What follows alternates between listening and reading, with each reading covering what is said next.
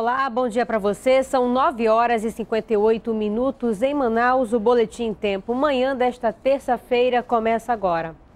E na noite dessa segunda, dois policiais militares ajudaram a realizar o parto de uma dona de casa na zona oeste de Manaus. O repórter Alisson Mota traz as informações. Olha só que história, hein? Daiane Franco Lopes, de 24 anos, começou a sentir fortes dores durante uma caminhada na Avenida Coronel Teixeira, na Zona Oeste. Foi quando ela pediu ajuda de algumas pessoas que sinalizaram para uma viatura que passava na área. Os policiais eram o tenente Odelismar Alves e o cabo Davi Praia, que estavam em patrulhamento de rotina. Eles colocaram Daiane no banco de trás de um carro que também parou para ajudar e fizeram parto ali mesmo mesmo. Daiane deu à luz a uma menina que nasceu prematura, com sete meses. Ela e a criança foram trazidas aqui para a maternidade Moura Tapajós. E olha só, ela já escolheu o nome da menina, Vitória. Mas também, com uma história dessa, não tinha como ter um nome diferente, né? Volto com você. Na noite de ontem, uma dupla suspeita de assaltos na zona norte de Manaus foi surpreendida por um homem em uma motocicleta. Um adolescente foi morto e outro está foragido. Um adolescente identificado como João Lucas de Souza, de 16 anos, foi assassinado a tiros no bairro Nossa Senhora de Fátima, na zona norte de Manaus. De acordo com a polícia, o crime aconteceu depois que ele e um comparsa cometeram assalto na área. Eles foram surpreendidos por um homem em uma motocicleta. Os dois suspeitos foram baleados. João Lucas morreu após ser atingido com um tiro na cabeça e outro na perna. Já o parceiro dele ainda está fora foragido. O suspeito do crime fugiu. A Delegacia de Homicídios investiga o caso. Um latrocínio aconteceu na noite de ontem no bairro Tancredo Neves. Um adolescente morreu e o padrasto ficou ferido quando eles foram surpreendidos por dois assaltantes na rua em frente à casa deles. Bruno Fonseca conta pra gente os detalhes. Bruno. Pois é, o caso aconteceu aqui na rua Urucará, no Tancredo Neves, na zona leste de Manaus. Manuel Jerônimo, de 47 anos, voltava do trabalho com o enteado Nicolas Andreu Souza, de 17 anos. Eles pararam no caminho de volta para casa para comprar comida em uma moto. Nessa volta, segundo testemunhas, eles foram abordados por uma dupla de assaltantes que estavam armados em uma outra motocicleta. Um dos assaltantes, depois da reação de Manuel, efetuou cinco disparos contra eles. Dois atingiram o adolescente e um atingiu o rosto do padrasto. Nós conversamos com a família, que está revoltada com o caso. Eles reagiram. Eu ainda vi a luta corporal deles. Eu não sabia que era eles, não. Muita tristeza, dor. Queria que meu marido se recuperasse. Eles foram socorridos por populares e encaminhados ao Hospital e Pronto Socorro Platão Araújo. O adolescente não resistiu aos ferimentos e morreu ao chegar na unidade de saúde. O padrasto ficou no hospital aguardando transferência para o Hospital e Pronto Socorro João Lúcio por cerca de quatro horas. A especializada em homicídios e sequestros investiga o caso. Eu volto com você no estúdio. Obrigada, Bruno. Em Barreirinha, o Touro Preto é o campeão do Festival Folclórico do município. Vamos aos estúdios da TV em Tempo com o repórter Tadeu de Souza. Bom dia, Tadeu. Alô, Priscila Gama. Bom dia a todos que acompanham o Boletim em Tempo. Neste final de semana, Priscila, aconteceu lá em Barreirinha, que é uma cidade que fica a 331 quilômetros de Manaus, o Festival Folclórico, com a disputa dos touros branco e touro preto. Aqui em Parintins são os bumbás, bumbás garantido e caprichoso. Lá são os touros branco, que é na cor do garantido, vermelho e branco, e o touro preto, que é na cor do caprichoso, azul e branco. E o campeão foi o touro preto. Confira a reportagem. O Touro Preto sagrou-se campeão do 30 Festival Folclórico de Barreirinha, município que fica a 331 quilômetros de Manaus. O festival foi realizado no final de semana com a participação de quadrilhas, danças e dos touros preto e touro branco.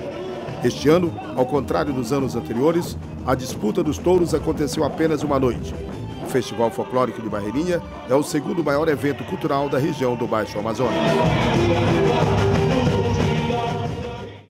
É isso aí, Priscila. É o Festival Folclórico de Barreirinha que está crescendo e já é o segundo maior evento folclórico cultural aqui da nossa região. Volto com você no estúdio, Priscila.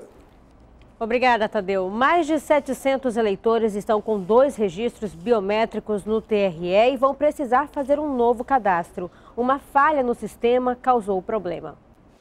São 704 pessoas com cadastro biométrico duplicado. Segundo o Tribunal Regional Eleitoral, foi por causa de uma falha no sistema. São cadastros que vêm desde 2014, quando nós temos a biometria, 2015, alguns resquícios de 2016 mas se for considerado o total de, de eleitores biometrizados no Estado, que é cerca de 1 milhão e 800 mil, 700 não corresponde nem a 1%.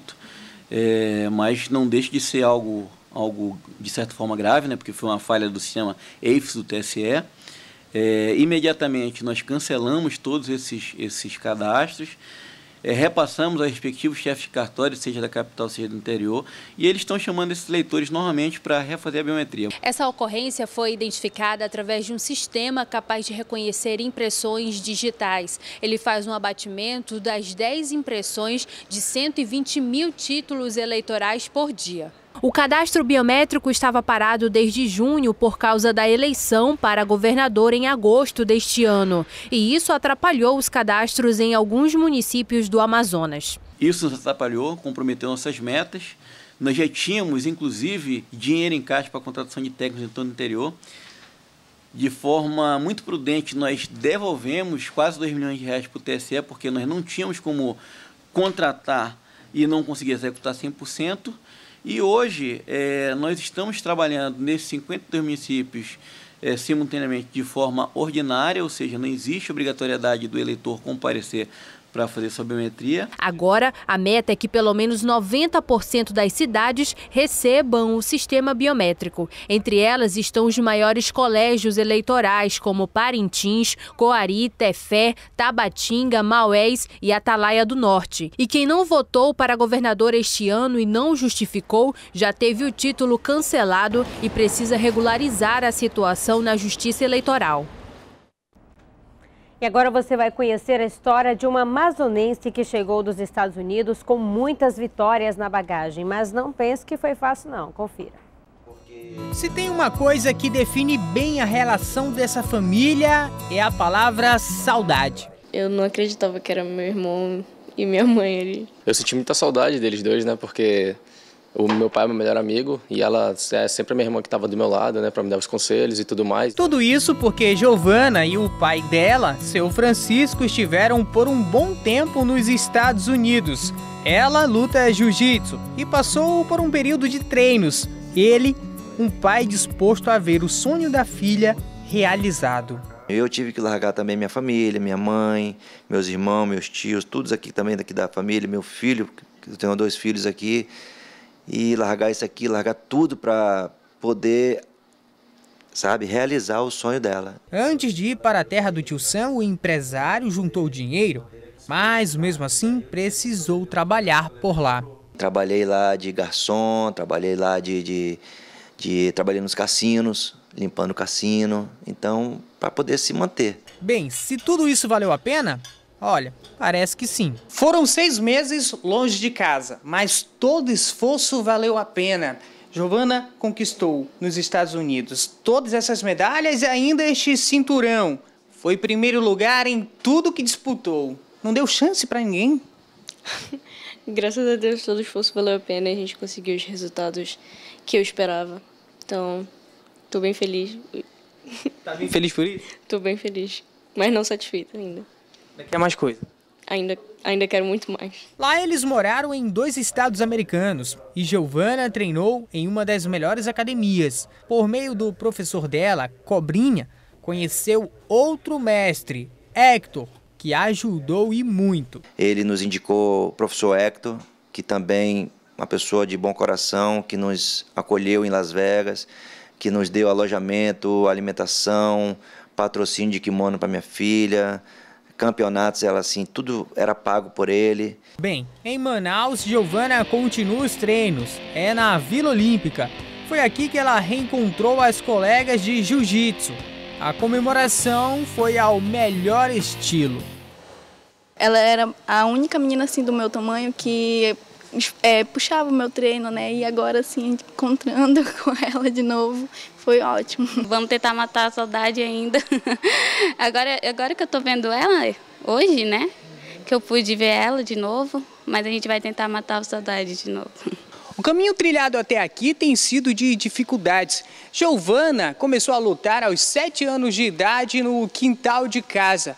O jiu-jitsu para ela não é só uma modalidade, mas um estilo de vida que ela respira dia e noite e que não mede esforços para conquistar os objetivos. Depois de largar família, amigos, escola, a menina está determinada a ir ainda mais longe. Peguei minha faixa azul agora, então agora que vai começar mesmo os principais campeonatos, os melhores da IBJJF, então eu quero ir para lá e começar a minha carreira agora e começar a ganhar mundial, pan-americano, europeu, o que vier pela frente eu estou tentando. São 10 horas e 10 minutos em Manaus, o Boletim Tempo. Amanhã termina aqui. Outras informações daqui a pouquinho ao vivo no programa agora às 10h50. E não esqueça que Jornal em Tempo hoje é às 5h20 da tarde. Tchau, até amanhã.